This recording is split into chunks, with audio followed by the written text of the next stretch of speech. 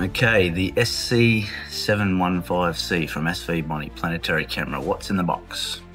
We got instruction manual. Very nice. Okay. Have a little look. There's a few bits and pieces. Uh, ST4 guide cable for the old school guys. USB 3 high speed data cable to connect the camera to a PC. A microfiber wipe. Mm, the camera itself it's actually pretty hefty compared to the 705. It's slightly larger. Get it out of the bag. And that lovely grey anodized finish. Bloody beautiful. And then there's few different connections. That's for a quarter inch eyepiece. There's one to screw directly onto M54, I think, or M48. And an adapter so that it'll fit the little security camera lenses. As you can see, the 715 is actually larger than the 705, even though the 705 has the larger sensor and larger pixel size. And here's the direct comparison of the two sensors side by side. As you can see, the 715 has the UV IR cut window too. So the first test, because I can't wait for it to get dark, let's try it out on the moon on the C8 in the middle of the day.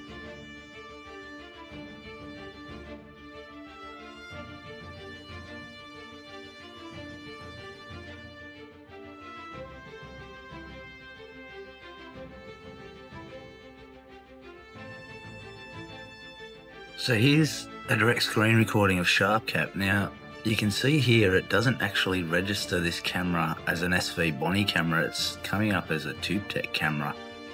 I'm sure that's something they'll probably rectify in software later. Um, but there's also, if you get on their website, you can download the actual SV Bonnie capture software now. Um, so yeah, if you have a look now, we're not quite in focus, but first impression, obviously the the Bayer matrix this thing is GRBG, so you've got twice the green pixels to the red and blue, hence the color cast. So the only issue I had in Sharp SharpCap, as you can see, I'm looking around for the white balance and shooting in RAW 8 and 12, you can't seem to adjust the color balance. It's not until you go to RGB 24 that it can adjust the color balance um, to obviously eliminate the green.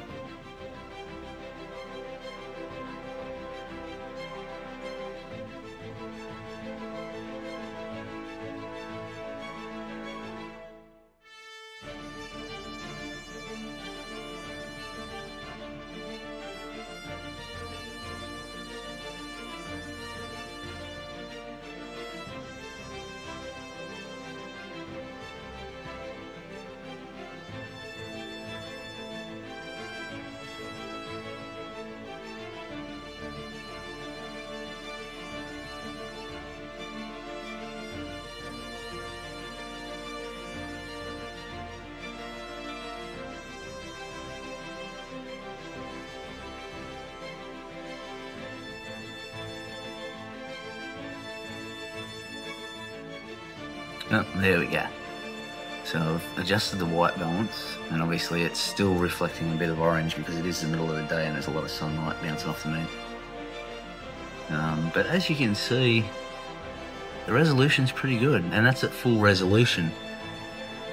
The frame rate, I couldn't seem to get it above about 23, 24 frames per second. Um, until I went into the actual Svbony software, and then you can get it upwards of sort of 80.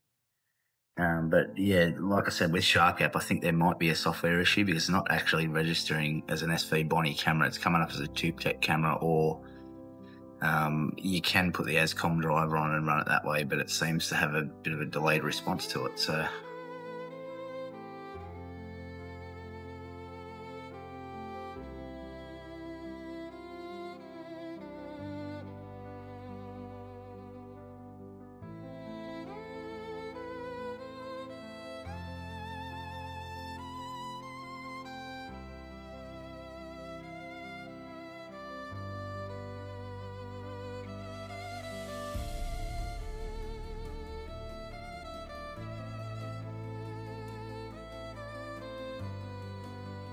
But as you can see, as we pan around the moon, there's plenty of detail there. Considering the seeing's not fantastic, it is the middle of the day, I'm shooting over house roofs, so there's probably a fair bit of atmospheric dispersion, plus the moon's not super high in the sky, and it is a fairly warm day. Um, but you can still see sharp details. So I'm going to take a quick, quick video and save it as a SER file, and then I'll show you the process results after it's been through PIPP, auto stack it, and Registax.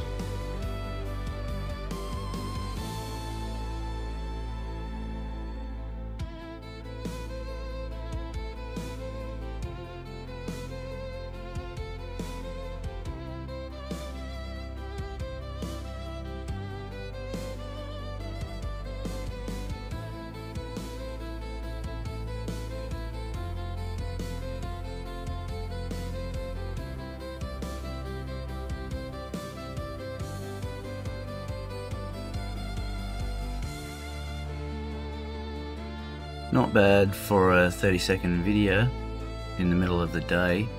Um, and it's on the Celestron C8, but it's not at its native focal length. I've got the 0.63 reducer on there, so we're running at about 1280 millimeters.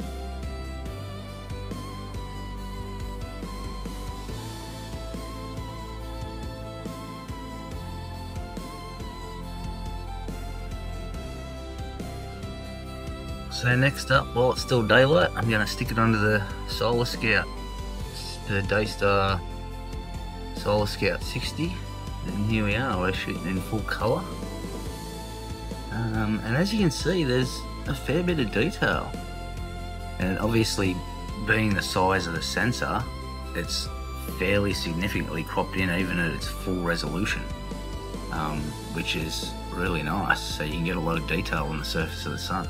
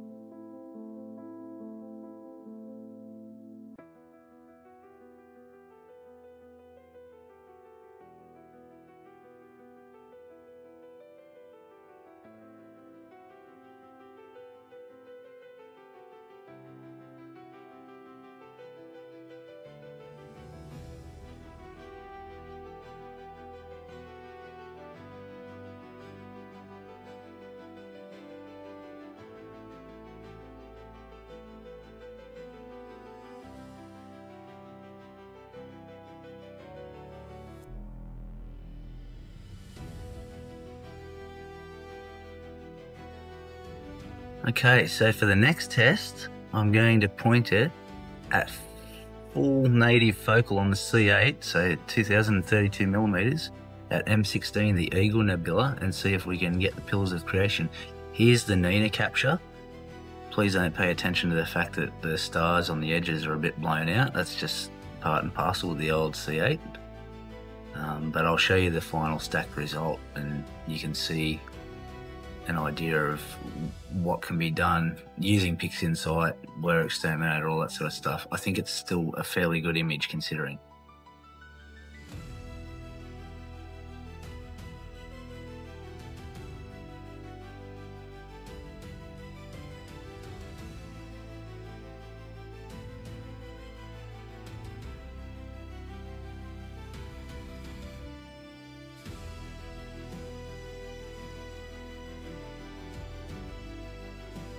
And for the final test, I'm going to run at native focal length on the SV555 243mm uh, to get a wide field view of the M16 or the Eagle Nebula, just to give you a direct comparison.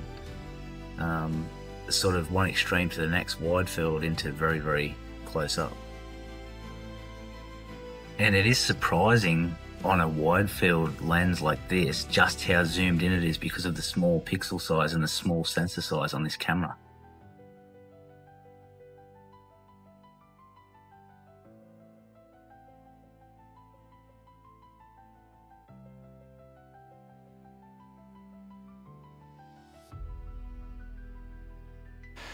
So overall, I think it's a fantastic camera, especially for the price. Um, when this video comes out, I think at the moment on Svbony's website, so direct from them, it's 349, so 350 Australian dollars.